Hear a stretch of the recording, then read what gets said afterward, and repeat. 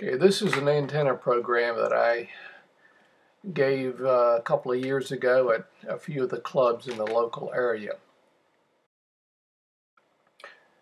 Now with antennas we have lots of choices. Uh, first is, we're we going to have a horizontal or vertical antenna? Uh, there are dipoles. There are phased arrays or driven arrays, such as the ZL Special. There are other arrays such as parasitic arrays. That would be a Yagi antenna. Uh, is the antenna going to be in-fed, center-fed, uh, or off-center fed? Is the antenna going to be for just one band, or is it going to be a multi-band antenna? So there's there's tons of choices, uh, overwhelming number of choices when you start to think about uh, what kind of antenna are you going to have. And additionally, a lot of choices, there's a lot of opinions. Everyone has his favorite antenna. Uh, there's the Carolina Windom, a big following. There's the SteppIR, the Long John, the Yagi. I'm not sure if it's as popular as it used to be, but there was an antenna called the Hy-Tower. And of course, there's the off-center fed dipole. Uh, many, many people have uh, a lot of success with the off-center fed dipole. So that's just uh, just gives goes to show there's a lot of opinions, um, but uh, in in general they all work. Now the question is, how well do they work? What best fits your QTH? Are you getting the best performance? Is it working well enough? What can you do to be louder? Uh, and what, what do I really need? What, what does not work? And how can I learn more about antennas? Now there's a few things that we need to make sure we understand uh, to do with radio waves and current. Uh, RF current in a wire creates a radio wave. A radio wave creates current in a wire. That's like transmitting, you put RF current into a wire to create a radio wave. Uh, when you're receiving, a radio wave passes over the wire and uh, causes a current to flow in the wire. And current in a wire caused by a radio wave will radiate another radio wave. That's called re-radiation. Now I want to tell you how you can get information on antennas. Uh, there's a lot of books out there. You can talk to experienced amateurs and visit their stations. You can visit uh, a local field day. You can experiment and build antennas. You can model antennas with uh, antenna modeling programs. EZNEC is the is the one the one that I use. Uh, as a result, you can build your own antennas and you can really learn a lot. It's uh, it's one of the things uh, in amateur radio that uh, you can you can still build your own, and uh, you can get great satisfaction out of that. All right, now let's start with books. Uh, one of the best sources is the ARRL antenna book. This happens to be the 19th edition that I'm using. Uh, antennas don't change a whole lot from edition to edition. Then uh, the ARRL has a series of uh, books called the Antenna Compendium. Uh, I'm not sure how many volumes they have, but I've, I've, got five or six of the uh, of the Antenna Compendium volumes. Uh, there's the radio radio handbook. Even old radio handbooks such as this uh, have really good uh, antenna information. Uh, some antennas that were used a long time ago uh, probably shouldn't be forgotten. there are textbooks. This is the McGraw-Hill Electrical and Electronic Engineering book. Um, lots of textbooks that deal with electronics and antennas. Uh, this is uh, uh, John Kraus's book, uh, Antennas, typical textbook that uh, we use at Virginia Tech.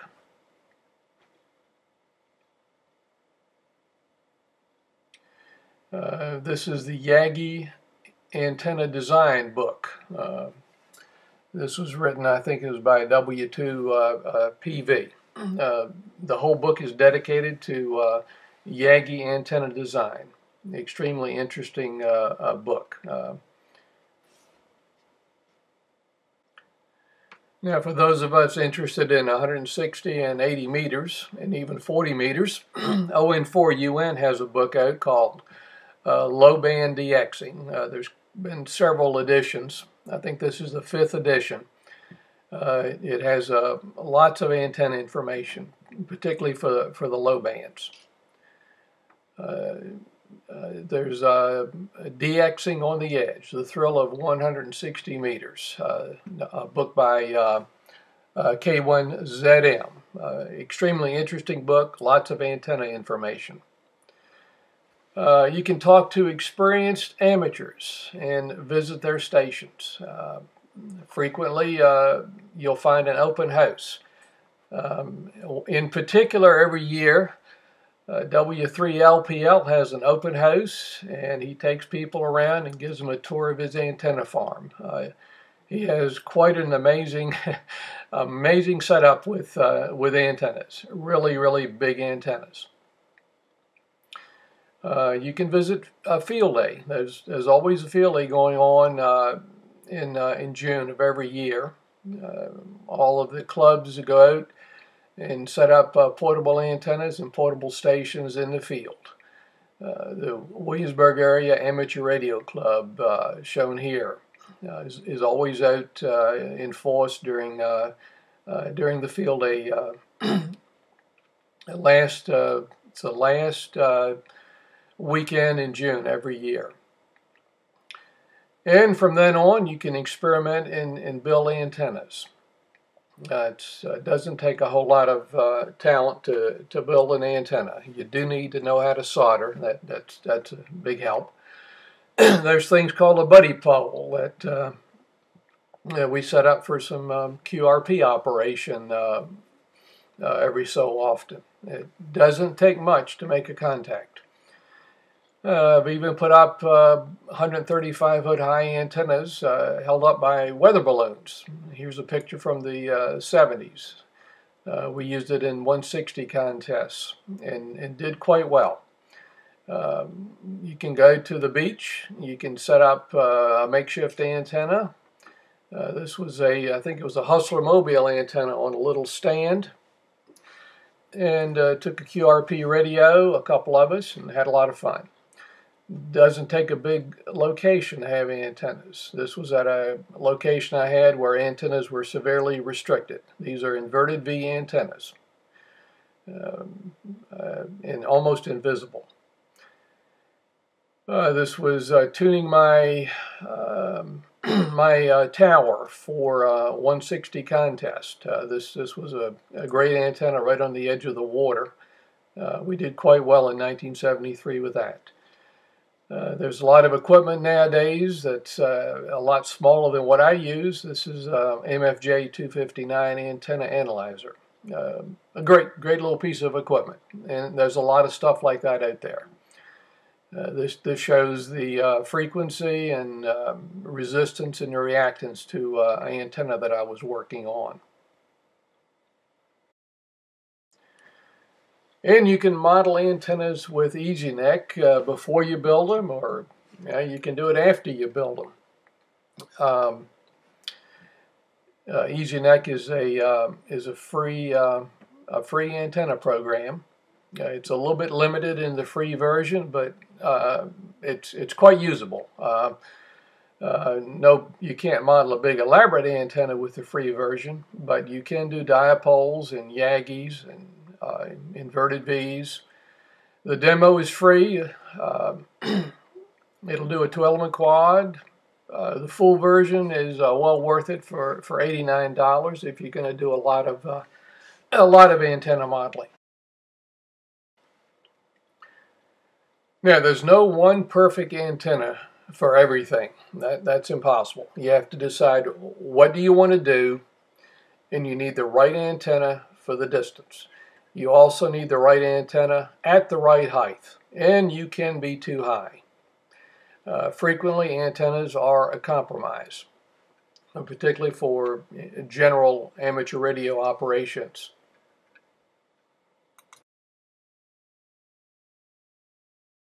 Now, a little bit about antenna fundamentals.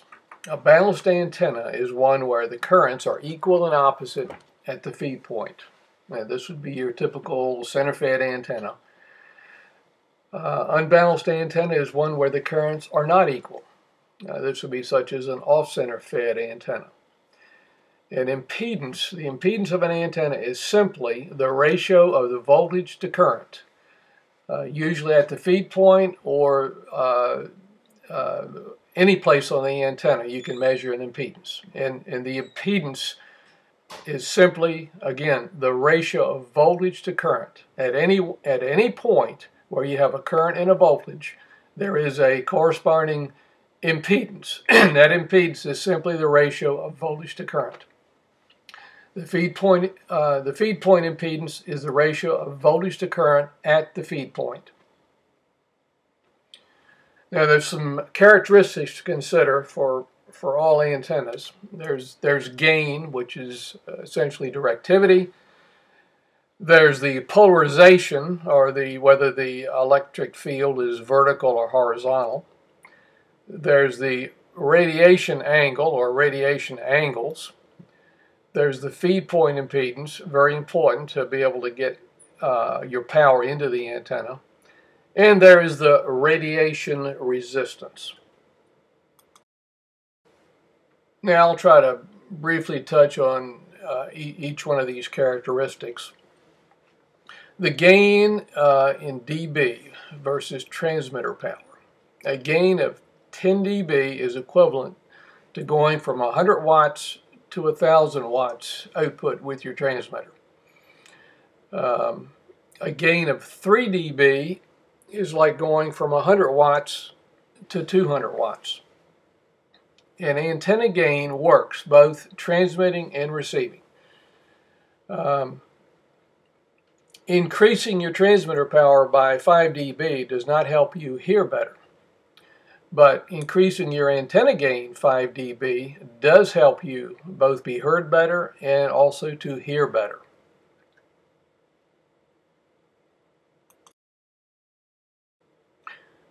Now let's talk about the gain of a dipole. The gain of a dipole in free space is 2.1 dBi. Uh, I'm, I'm, sure everybody's heard the gain of a dipole is 2.1 dB. Well, it's 2.1 dBi in free space. The gain of a dipole is off the sides and not off the ends. It's off the broadside. The gain in one direction is always, always at the expense of gain in another direction. Now let's note that the gain of a dipole on Earth, a real dipole, is not 2.1 dBi. The gain of a real dipole on Earth that you might actually put up yourself is 7.5 dBi. So let's remember, the gain of a real dipole is 7.5 dBi, not 2.1 dB.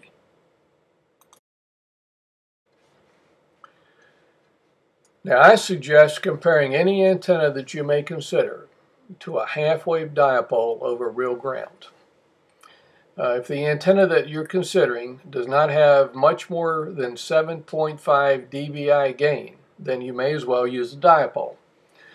A dipole is not a bad antenna when it's up in the air fairly high.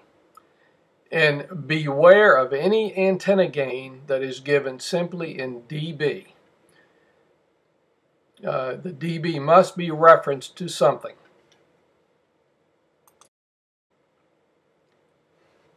Now, I think it's always a good idea to reference uh, antennas to uh, dBi.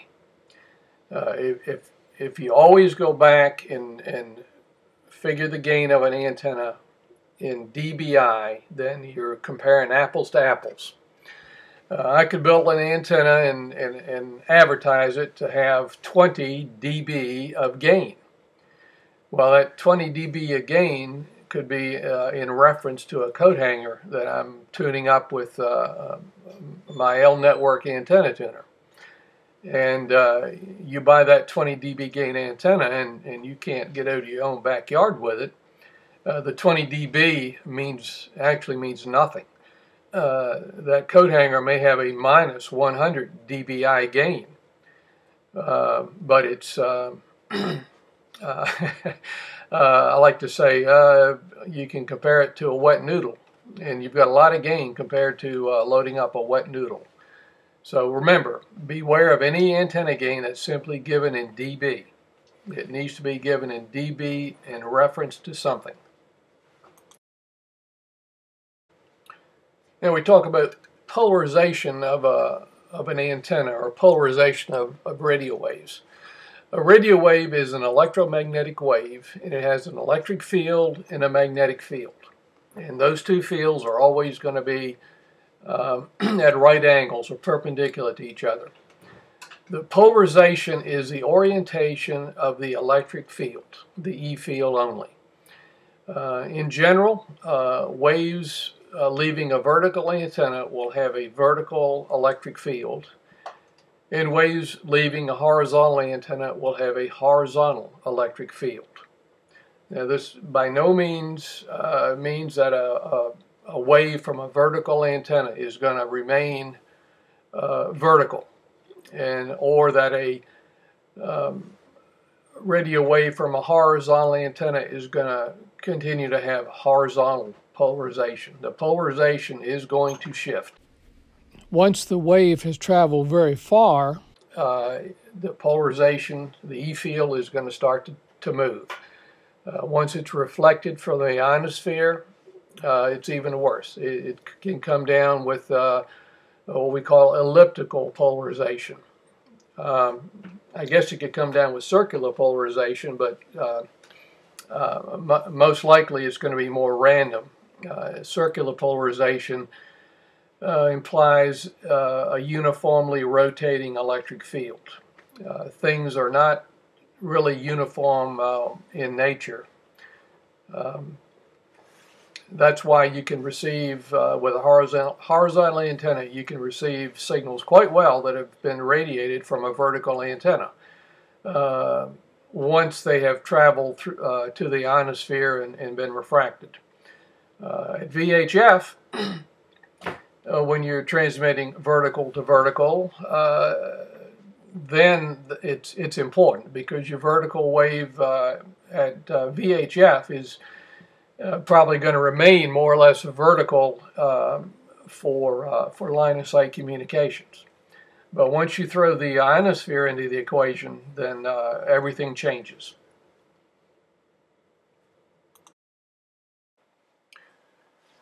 Now we want to talk about ground effects uh, due to polarization.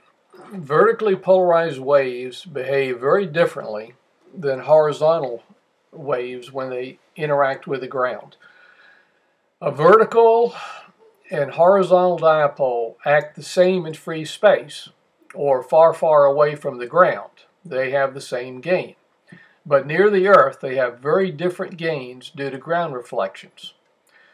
You get about 5 dB of free gain with a horizontal antenna uh, when it's uh, over real ground. Uh, you do not get that 5 dB of free gain with a vertical antenna that's mounted near the ground. So there's, there's a big difference between vertical and horizontal polarization uh, when you bring the ground uh, into the calculation.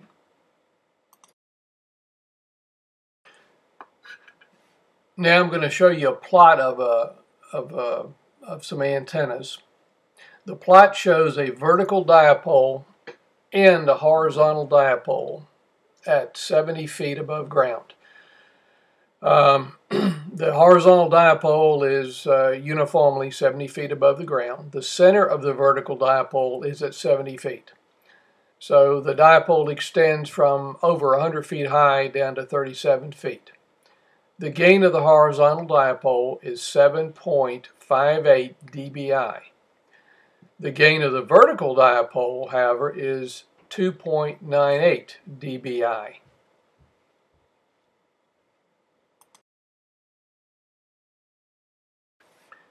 Okay, th this plot shows the uh, the, the pattern of the two antennas. The vertical antenna, as you might expect, uh, uh, radiates equally in all directions. and the horizontal antenna radiates uh, mostly off the broadside. So we're we're actually focusing some of the energy that we are putting into the antenna. Uh, in the case of the horizontal antenna, uh, we're taking it away from the ends and we're adding it to the broadside uh, directions. Now the radiation angle. the radiation angle is the angle that your transmitted wave makes with the Earth. 90 degrees being straight up and 0 degrees being uh, perfectly uh, parallel to the Earth. The lower the angle, in general, the greater the potential skip distance. I say potential skip distance because uh, even though you're striking the ionosphere at a very low angle, uh, the ionosphere has to be strong enough to support the refraction of the uh, electromagnetic wave.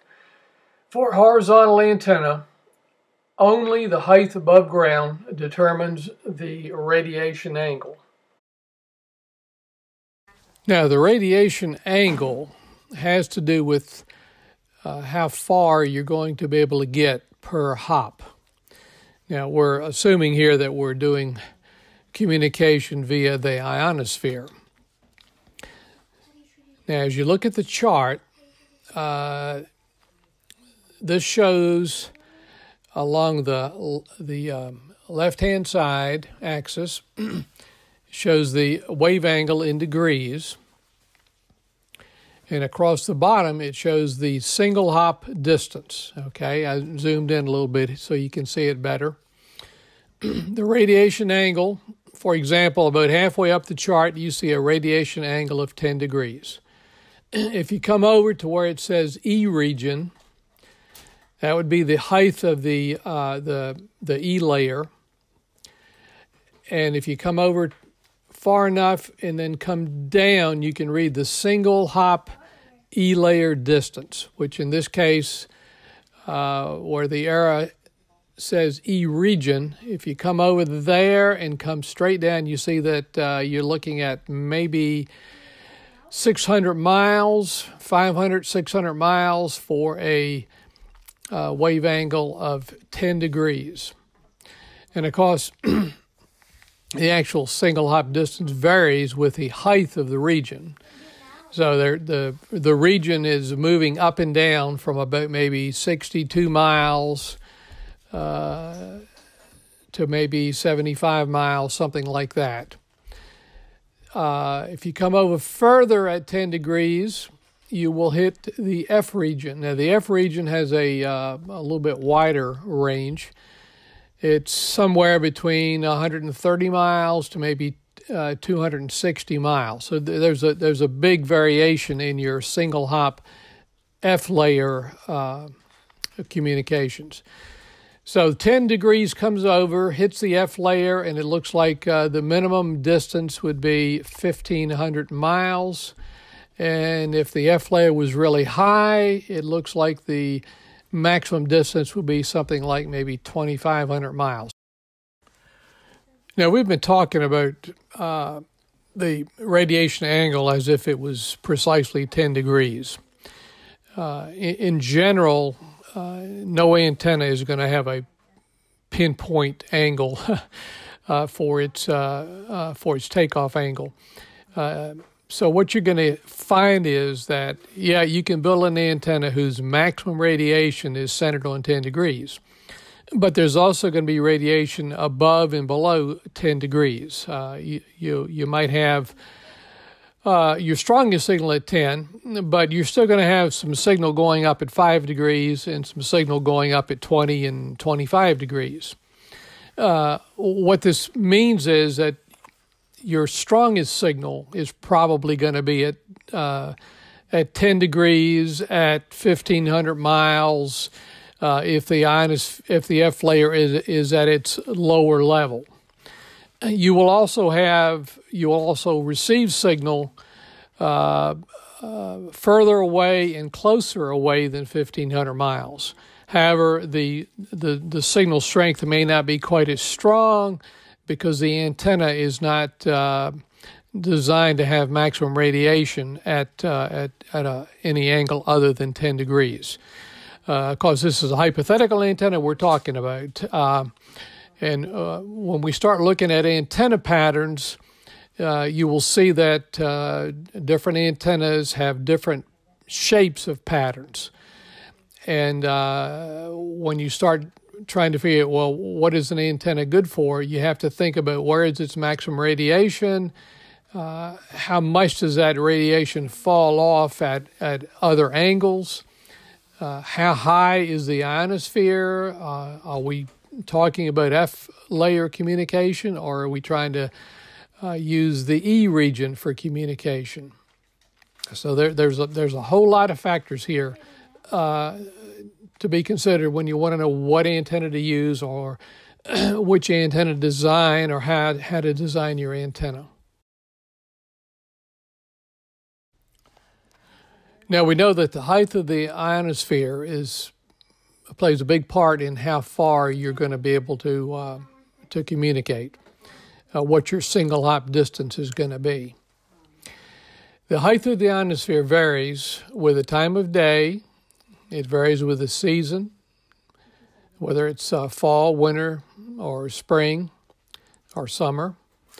It varies with the sun, 11 year sunspot cycle, uh, which is, uh, it varies with solar activity. Uh, and, and of course, any time in the sunspot cycle, you can have uh, a drastic change in solar activity. And there are still other unknown factors, uh, either unknown because we haven't learned them yet, or unknown because uh, uh, I haven't learned them yet, or unknown because we don't want to talk about them in this particular presentation. But basically, uh, time of day, season, sunspot cycle, and solar activity uh, are the major factors that determine the height of the ionosphere. Now, I want to mention local skywave. Uh, local skywave communication would require high angle radiation, probably 160, 80, or 40 meters. And now, the polarization of the transmitting and receiving antennas do not need to be uh, matched. In other words, you don't have to have vertical polarization to communicate with another station with uh, vertical polarization. Uh, uh, it doesn't make any difference when you're working skywave. Uh, a low horizontal dipole works great for local skywave, and low means 30 to 60 feet on 80 meters.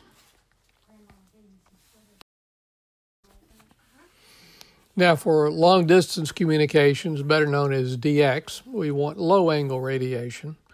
Again, the polarization does not matter. Anytime you're bouncing your signal off of the ionosphere, uh, you do not have to worry about matching polarizations. In general, you want to use a horizontal antenna above 40 meters, a vertical antenna below 40 meters, on 40 meters, you want to use a horizontal antenna if you can get it over 35 or 40 feet. If you can't get a horizontal antenna uh, over 35 or 40 feet high, then you're probably going to go to a vertical on 40 meters.